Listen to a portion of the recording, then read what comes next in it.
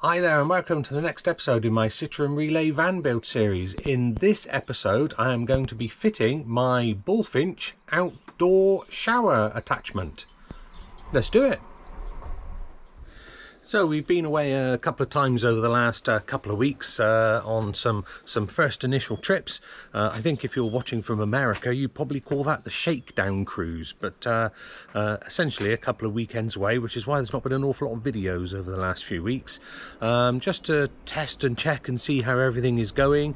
And uh, it, yeah, it's come up with a, a few things I want to change, a couple of minor adjustments to things and also some extra things to do which uh, includes today this bullfinch outdoor shower attachment. Um, so the, the reason for that is uh, basically being able to uh, wash off uh, muddy shoes and welly boots during the winter on the outside of the van rather than uh, traipsing that uh, mud inside. And during the summer for uh, you know getting sand off your feet when you go to the beach and things like that. Um, so uh, I think all round that's probably quite a good idea. So that's what I'm going to be fitting today. So let's turn you round have a look at the table and go through what I've got the tools I'm going to need and and then I'll talk you through uh, how I'm doing it and, uh, and what I'm doing. And again, like all my videos, there's no right or wrong to these things, is there? I'm just going to show you the way I'm doing it. Some people might think, oh, that's, that's, that's all right, that's good, yeah, I'll do that. And other people say, you bloody idiot, that's a load of old crap. Um, but that's YouTube, isn't it? That's YouTube. Right, let's turn you around. So, starting off at this end of the table, there's the old uh, Bullfinch uh, adapter. Um, so it comes with a, a, a obviously a cover flap on the on the front uh, when you don't need it which uh, opens up which is oh blimey that's stiff being new. Right there we go. Um, so that's what it looks like. And then on the back you've got two uh, prongs that stick through and they're nicely color coded look so you know which one is which and it just comes with a, a couple of screws in there and your attachment here. So that goes into the, uh, the, the fitting. And then you've got a, a, spray hose with a with a trigger on it the the other end. Um, now interestingly just to uh, you know make these things uh, fun and exciting um, these uh, here are 15 mil and not 12 mil. So what I've had to do is and uh, this will also talk you through what I bought so starting here, just went to my local DIY store and got some uh, John Guest 15mm uh, elbows. I've already opened uh, one of these. Let's uh, show you that. So there we go. So that will go onto the, the fitting. I've then got some 15mm to 12mm uh, adapters. Uh, I've got my T-pieces to cut into the existing plumbing to get a connection. We've got a couple of valves here to be able to turn the flow uh, on and off. Um, some some pipe, not going to need an awful lot of pipe inside, so just a, a, bit of scrap offcuts of the red and the blue there, and some uh, pipe pipe inserts. Uh, moving along, we've got my pipe uh, pipe cutter for, for cutting this, and then over here we've got uh, the usual sort of stuff you're going to need for these sort of jobs. So i've got a stanley blade pencil tape measure masking tape which is generally the most important thing uh, hole cutters. Um, it says on, on the blurb for this that you need between 60 and 65 millimeter. Well luckily my biggest one here is uh, is 64 so that's going to do the job brilliantly uh, I've also got a file for filing off the hole that, uh, that, that, we cut and getting rid of the sharp edge. Uh, then some uh, hammerite and a brush for, for you know painting the edge that we've just created. Um, always going to need a, a, screwdriver and a range of screwdriver bits invariably I would imagine. Um, drill for cutting the initial pilot hole and the actual drill itself. Moving along, some uh, Sikaflex. For this particular job I'm going to use Sikaflex 522 or 512 as it used to be called. I think that'll do, uh, do fine. Um, we're going to need an offcut of a bit of cardboard, uh, an offcut of plywood to make the little frame on the inside, and the all-important uh, lovely cup of tea. Right. Oh, incidentally, this um, this bullfinch does come with a, a rubber um, a rubber insert. You can see it there, but uh, I'm still going to Sikaflex that as well, just for belt and braces on that, rather than just rely on that uh, rubber insert. Right, that I think is generally what I'm going to need to do this job. Um, so let me talk you through my uh, thought process of where I'm going to put this. Isn't this nice? It feels like spring has come at, uh, at long last. I mean, I mean, it's still chilly, but it's not sort of freezing your bells off weather anymore. And there's birds singing in the background, and it's all good. Well, in amongst the bombs dropping anyway, because uh, I live right on the edge of uh, Salisbury Plain. And uh, let's just say over the last couple of weeks, the army have been uh, somewhat active with their training. So if you hear boom, boom, boom in the background, you know what that is. Right, let's have a look at where I'm going to put this.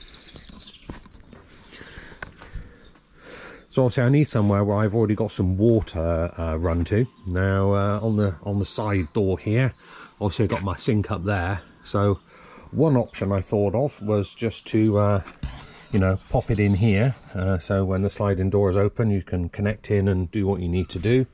But then I thought, well, hang on a minute, that's probably not very good because that's going to be right underneath where the awning comes out. And if we have a driveway awning and some kind of mat down there, that's all going to get wet and uh, and so that's not going to work. So I thought okay plan B let's go around the uh, around the back here.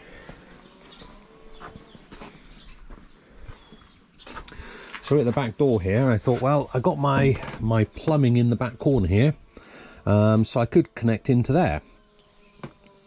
The only trouble is I've only got uh, cold water there. All the hot water is uh, through uh, through at the front the other end.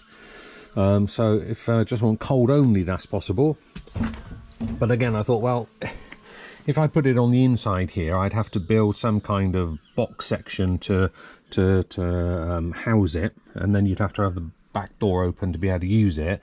And then I'm a little bit worried then that when you're actually operating it and taking the attachment in and out you're going to get some dribbles of water come out which is going to go onto the floor here. Um, so that wasn't ideal either. So I thought right I'm kind of running out of options now. So obviously at the back here I could have lined it up with my um, you know with my water waterworks here. So that's the uh, infill for filling the uh, the freshwater tank. And that's my whale connector for when I want to connect to the mains water.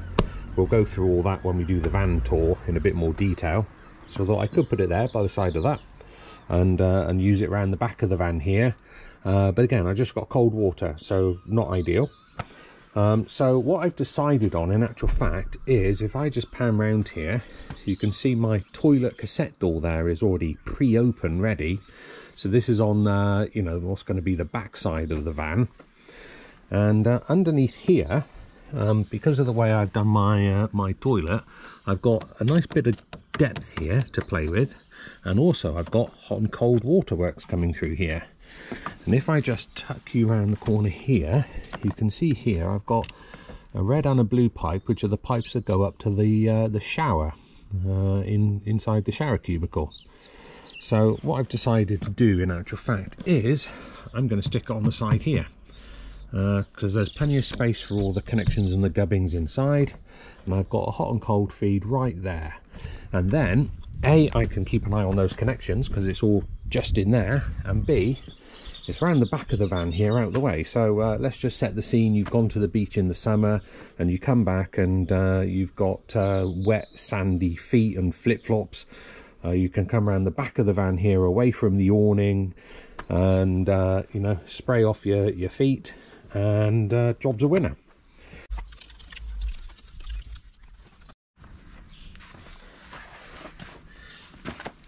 right then so first things first bit of cardboard on the floor, you know, for the old knees, because I'm officially uh, an old fart now, aren't I? So do that, right. And uh, we're just, so I've given this a, a clean and a wipe off here. The whole van could do with a good clean, really, but that's for another day, isn't it? Um, so first things I'm going to do is basically mask off the entire section where I'm going to want this to go. It does seem a bit wasteful on uh, masking tape, I know, but trust me it's the best uh, the best first job you'll ever do all the time.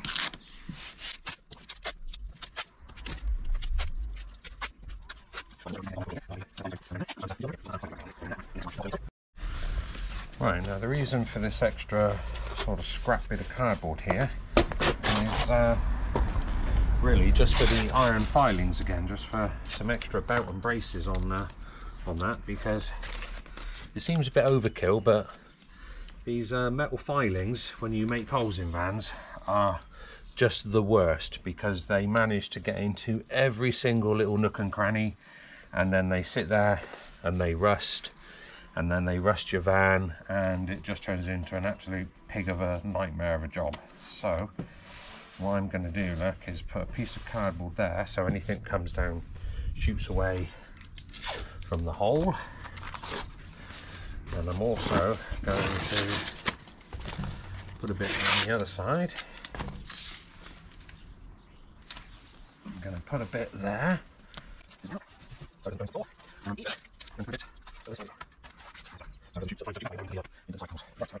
Now I'm ready to measure up where I want to uh, cut this. So I'm just going to take some measurements and I'll come back to you in a couple of minutes when I've made my mind up. Right, so I've decided on my location and that's through having, you know, having a good feel around on the inside, see what's there and uh, how that's going to work out with the pipes on the inside. And I've decided middle is going to be there. So although I put it on back to front, um, he's going to sit there in relation to the to the toilet door there. So that should be uh, a okay. So I think I'm just about ready to uh, to make a start on this. Oh no, I'm not. I haven't done the uh, cardboard on the inside, have I? Okay, so I've got some more um, of this cardboard and some other material on the inside to try and capture any filings that go uh, that go through as well. And also I can get a hoover in through the side, uh, you know, through the, the toilet cassette door to uh, aid with that in a minute. So I think we're just about ready to uh, ready to go. So let's uh, drill a little pilot hole and then get this uh, hole cut out.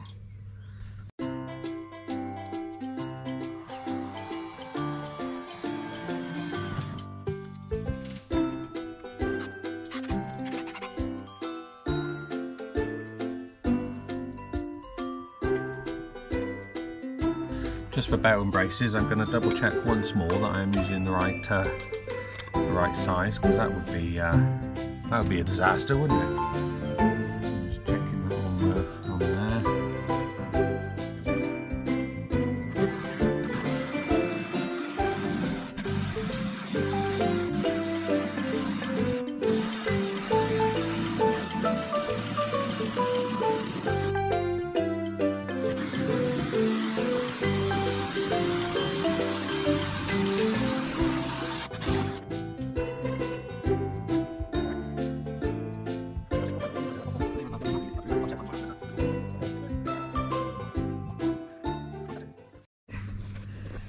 Okay, good. I'm happy with that. So that's worked out quite well. So uh, on the inside now, we can see the blue and red pipe that go to the, the shower is just in behind there. There's my uh, insulation look in there as well. And uh, the cardboard has done the trick brilliantly because if I look down where my feet are now, can I get in close enough for you to see that? Yeah, all this all over the cardboard on the floor here, all over me uh, drill box. So all those shards have come down, deflected away, and it's all on the floor down here out of harm's way rather than all over the side of the van. So a couple of scraps of cardboard actually does the job perfectly there.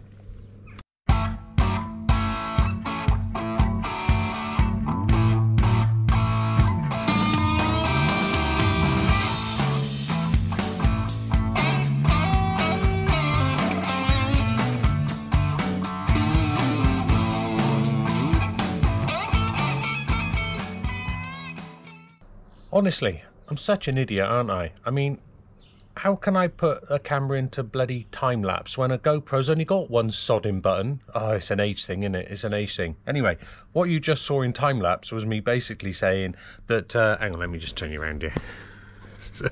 what it? Right.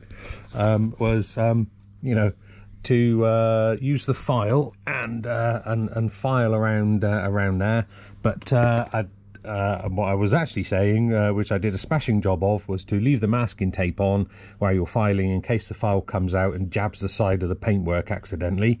Um, so I filed the uh, hole and then I used some hammerite paint and uh, I've painted around the hole and um, that's just drying off nicely now uh, while I go and prepare the wooden frame for the inside and I'll try to remember not to put it into time-lapse again like a complete tit oh it's all a laugh isn't it? Right. My son said use the GoPro. Dad it's only got one button. You can't possibly go wrong. Oh I'm damned. Right. Bit of uh, 12 mil ply will do the trick here just fine. Um, I'm just going to check uh, where I've got a square uh, square edge. Uh, actually, on uh, on this end here, I got a square edge, so we'll we'll go with uh, with that. And oh, let me just get the uh, the bullfinch in a minute. Right, this this doesn't need to be precision at all, does it? I got plenty of space on the inside, so what I'm going to do is just allowing for plenty of meat around the outside for these screws to to fit into um, see just about there I'm just going to mark it there and there and that will do as a as an external internal frame. So let's uh, just join up the lines there. Right.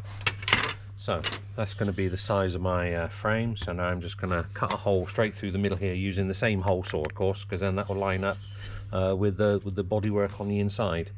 So we'll just go uh, plumb in the middle with that, or as near as damn it is to swearing, as my dad uh, does say.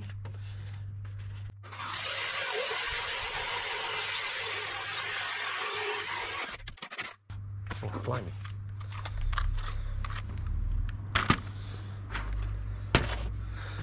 That was harder to cut through than the metal of the van. Okay, grab the old battery off of there.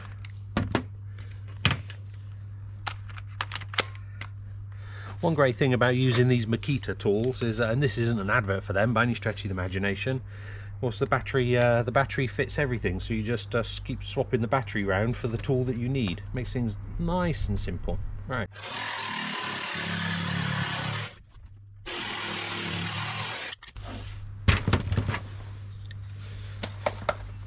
Right, there's my little frame, simple as that.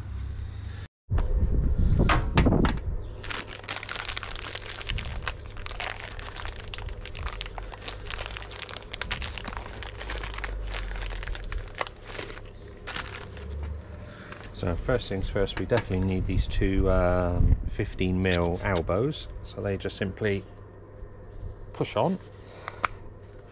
And then tighten up. tighten up. Like so. Then I'm going to put my 15 mil to 12 mil adapters in. So again they just push in into the end there and tighten that up right so now we've made our our bend and we're now on to uh, 12 mil push fit which is what we want so I've got a nice edge there so I'm just going to cut a uh, a length off here. And the same with the blue. I've already got an end in that end. Not quite sure why, but uh, we'll go with it. It works, doesn't it?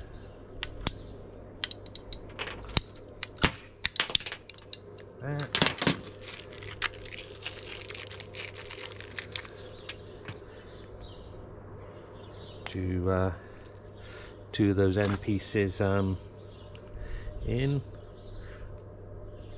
I think you don't have to use these, but I've been using it all the way around, and uh, must admit, by doing so, I haven't had any leaks at all. So uh, definitely think it's worth it.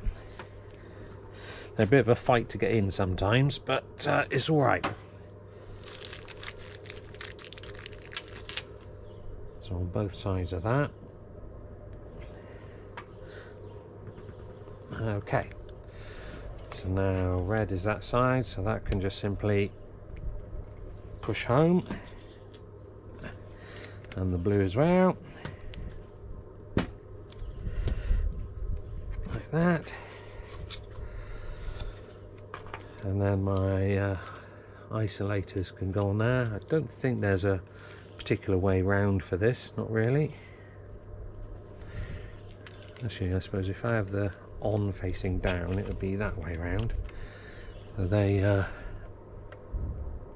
they just go on like that, and like that. Pretty simple.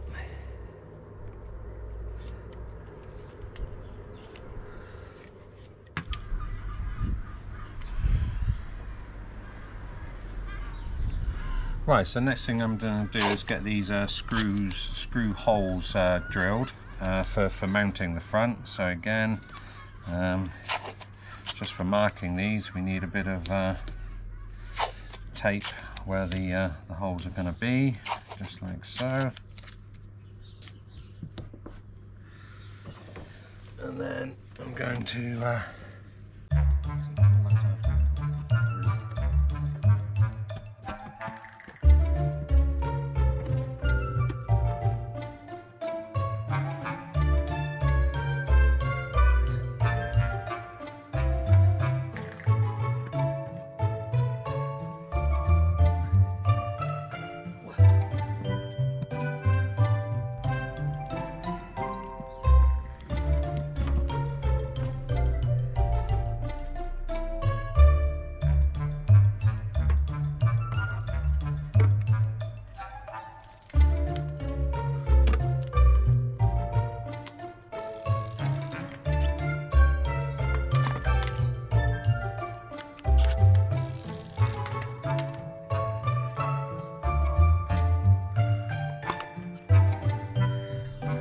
that didn't work did it?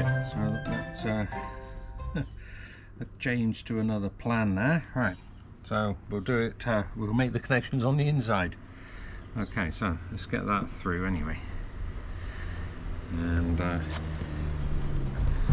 kind of lined up with the uh, with this.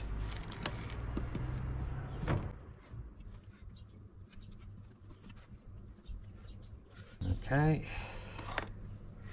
and then using my pencil I'm just going to mark where these are.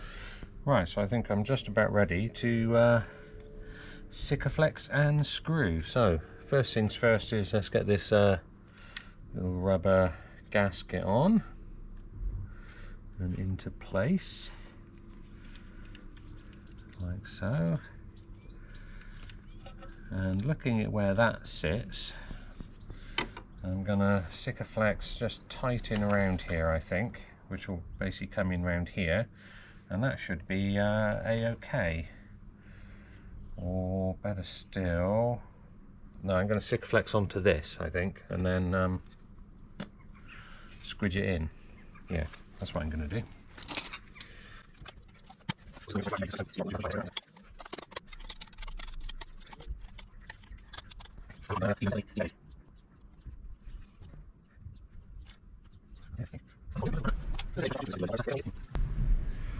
Right, wish me luck. So I got my drill ready, my screws ready, and uh, could do with about three pairs of hands now, of course, or even four, but uh, we haven't got them, so we're just going to have to uh, give it a whirl. And then hopefully I should be able to feel the hole in there, which I can.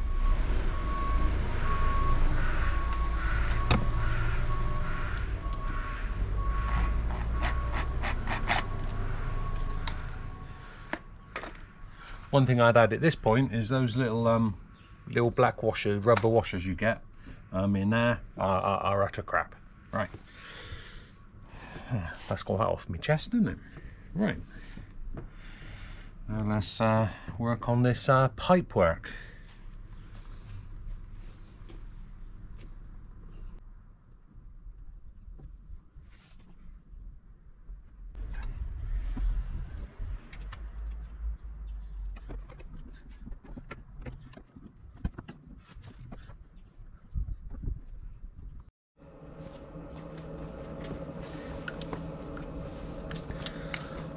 Okay, so I'll show you the uh, the connections inside in just a second, but uh, we're all done and we're and we're ready. So, how it works is you simply open that up uh, you put the, the nozzle in and connect it and uh, there we go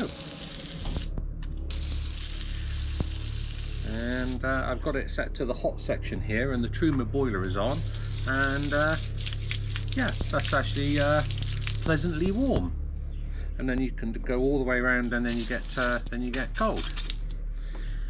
And so actually for washing dirty shoes uh, for washing sandy feet for washing bikes wellies that's uh, that's absolutely spot on. Uh, and I'm glad I put it on the outside because definitely when you take this out um, you do get a bit of a dribble uh, come down uh, which is the only uh, the only nuisance there Actually, one thing I would uh, show you is actually there's quite a bit of pressure. So this is just on one of those um, Shurflo uh, water pumps, and I've just put some water in the fresh water tank. So I got it set to the the cold setting, and actually that's not too bad at all, is it? You know, as a as a little outside shower point goes, and even with it on the uh, hot mode, there's still uh, you know, still not too bad. Right, let me take you into the catacombs, uh, so to speak, and show you how I've connected this up. So, uh, moving in. Okay, so, so, you can see all my insulation uh, up in there, look. So that's the uh, that's the the connectors um, off the back of the bullfinch uh, there. And then up above here we've got the uh, the isolators for that.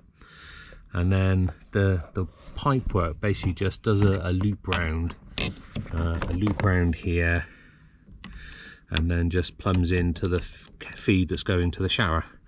And the cold one is the same. So I've plumbed into the shower feed there and it comes off here just does a loop round through there and into the uh, into the bullfinch um, so that's actually working uh, working just fine. The, okay so then once this is all uh, put back together like so that's what we got. Marvelous so if you're thinking of installing a uh, Bullfinch uh, external shower point, I hope that's been uh, useful to you. Um, that's actually gone quite straightforward uh, for me all in all. And I'm quite pleased with the uh, result there. That's got quite a nice um, nice pressure to it and, uh, and is all good. And tool-wise, I think we were bang on there, weren't we, with all those tools? The only thing I didn't really use was the screwdriver and the Stanley blade. Apart from that, everything else came in came in very handy. So, hope you've enjoyed that. Please remember to like and subscribe, blah, blah, blah, blah, and I'll see you next time.